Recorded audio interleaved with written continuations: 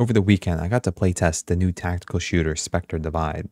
Now, we weren't allowed to stream or record anything during the playtest, so I'm using officially released gameplay to get my point across. Starting out, the game can feel pretty overwhelming at first. There are 8 total characters called sponsors, 4 of which are unlocked from the start, and each character comes with its own unique abilities.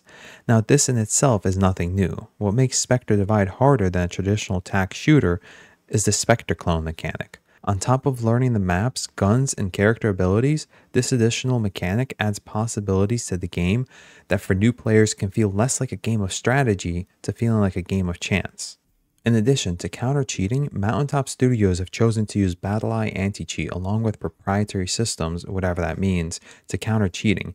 I really hope this is enough because, as much as I don't like the idea of kernel level anti cheats, the recent CrowdStrike fiasco being the perfect example, I do appreciate the confidence of competitive integrity that Valorant's kernel level anti cheat provides. Lastly, I have to mention this because it's a personal pet peeve of mine. Why is the bomb called Zeus? Valorant called it Spike, these guys are calling it Zeus. We don't have to reinvent the word for bomb every time a new tac shooter comes out.